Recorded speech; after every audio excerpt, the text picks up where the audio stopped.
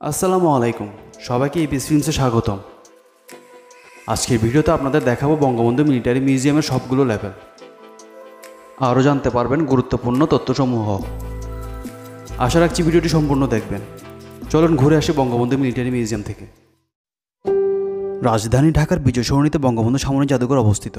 দশ একর জায়গার উপর নির্মাণ করা হয় এই জাদুঘরটি। জাদুঘরে প্রবেশের পূর্বে আপনাকে লাইনে দাঁড়িয়ে টিকিট সংগ্রহ করতে হবে। এখানে তিন ধরনের টিকিট রয়েছে। যারা সাধারণ দর্শনার্থী, অর্থাৎ বাংলাদেশের নাগরিক, তাদের টিকিট ফি একশো টাকা।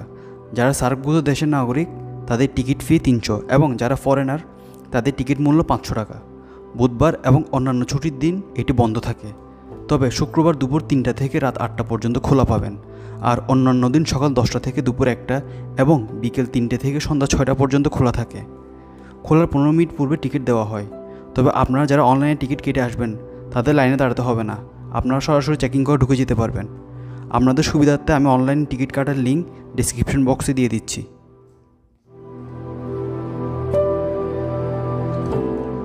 বাংলাদেশ সেনাবাহিনী জাদুঘরটি নিয়ন্ত্রণ করে। বাংলাদেশের সামরিক বাহিনীর ইতিহাস, সাফল্য ও যুদ্ধে ব্যবহৃত বিভিন্ন অস্ত্র সংগ্রহ নিয়ে জাদুঘরটি সজ্জিত। জাদুঘরটিতে তিনটি বাহিনীর জন্য নির্ধারিত গ্যালারি সহ ছয়টি পৃথক অংশ রয়েছে এবং প্রতিটি বাহিনীর গ্যালারিতে একটি বঙ্গবন্ধু কন্যা রয়েছে। জাদুঘর নিচতলায় বাংলাদেশ ইতিহাস গ্যালারি দ্বিতীয় তলায় বাংলাদেশ সেনাবাহিনী গ্যালারি, তৃতীয় তলায় বিমান বাহিনী গ্যালারি, চতুর্থ তলায় জাতিসংঘ শান্তিরক্ষা গ্যালারি এবং বেসমেন্টে নৌবাহিনী গ্যালারি রয়েছে।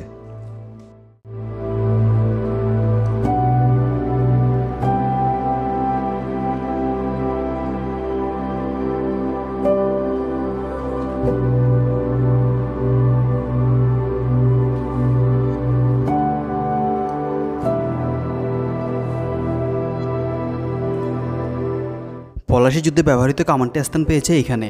পাশে রয়েছে সিপাহী বিদ্রোহীদের প্রতিকৃত। তাছাড়া যুদ্ধে ব্যবহৃত বিভিন্ন অস্ত্রের ভগ্নাংশ দিয়ে তৈরি করা হয়েছে বিভিন্ন ভাস্কর্য।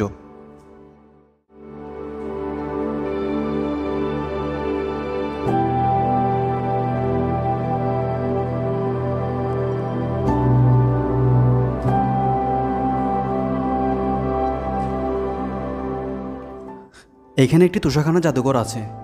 বাংলাদেশের রাষ্ট্রপতি, প্রধানমন্ত্রী এবং বিশেষ ব্যক্তিদের অন্যান্য দেশ থেকে যে সকল উপহার দেওয়া হয়, তা এখানে সংরক্ষণ করে রাখা হয়।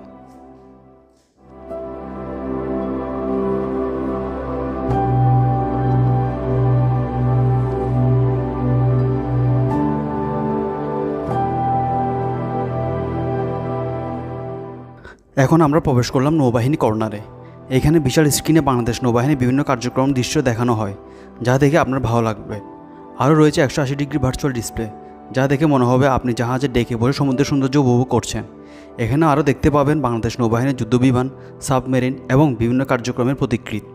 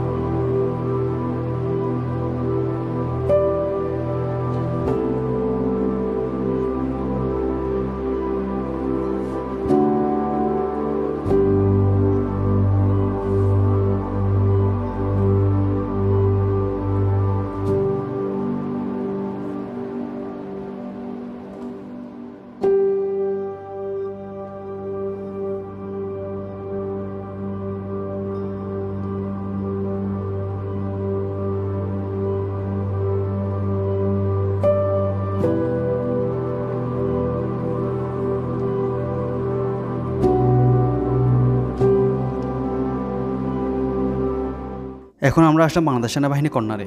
এটি বাংলাদেশের প্রথম ব্যবহৃত কামান।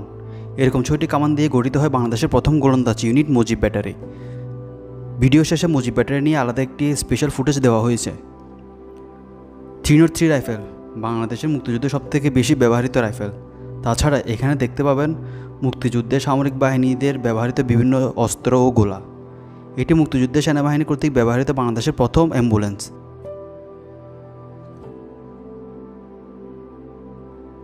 তৎকালীন সময়ে সেনাপ্রধান ছিলেন জেনারেল মোহাম্মদ আতাউল গনি উসমানী। এখানে তার ব্যবহৃত গাড়ি, টেবিল এবং অস্ত্র রাখা হয়েছে। তাছাড়া এখানে দেখতে পাবেন পিলখানা হত্যাকাণ্ডে নিহত শহীদ সেনা সদস্যদের ব্যবহৃত পোশাক এবং জিনিসপত্র।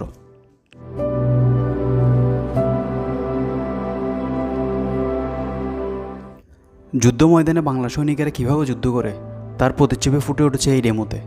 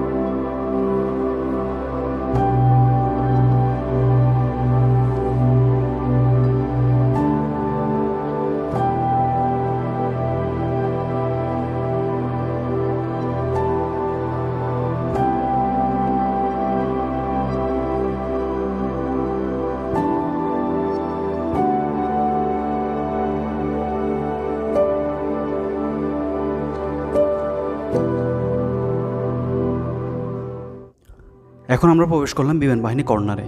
এখানে প্রবেশ করলে চোখে পড়বে কিছু যুদ্ধবিমান এবং যুদ্ধবিমানের ইঞ্জিন। আরও দেখতে পাবেন বিভিন্ন আকাশ প্রতিরক্ষা ব্যবস্থা এবং মিসাইল।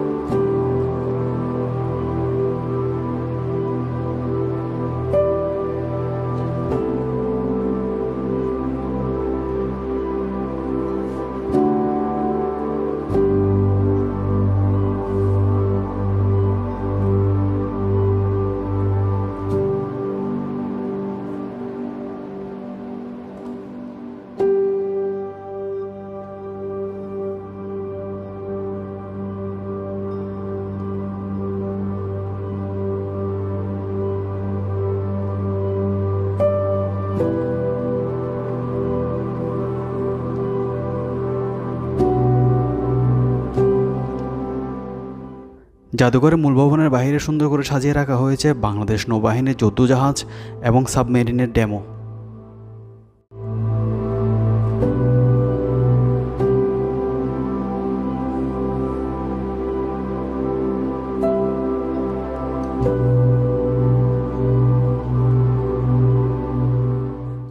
অবশেষে আমাদের বঙ্গবন্ধু সামরিক জাদুঘর ঘুরে দেখা শেষ। প্রায় দুই ঘণ্টা ধরে আমরা ঘুরে দেখলাম। এটি যত বড় স্থাপনা, তাতে দুই থেকে তিন ঘণ্টা সময়টা অনেক কম মনে হয়েছে আমার কাছে। কেউ যদি সত্যিকারের মুক্তিযুদ্ধের ইতিহাস জানতে চায়, তাহলে তার আরও কিছু বাড়তি সময়ের প্রয়োজন হতে পারে। সুপ্রিয় দর্শক, আমার ভিডিওটি যদি আপনাদের ভালো লেগে থাকে, তাহলে আমার চ্যানেলটি সাবস্ক্রাইব করবেন এবং আমার ফেসবুক পেজটি ফলো দিবেন। আর ভিডিওটি শেয়ার করে সবাইকে দেখার সুযোগ করে দিবেন। সবাই ভালো থাকবেন। আল্লাহ হাফেজ।